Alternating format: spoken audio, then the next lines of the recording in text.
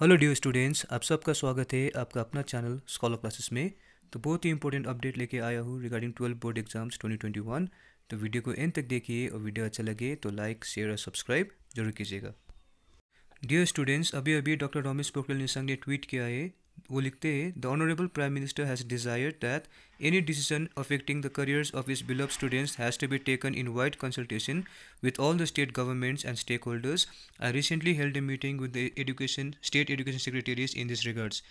Friends, I need your valuable suggestions too. You can send them on Twitter on my Twitter handle.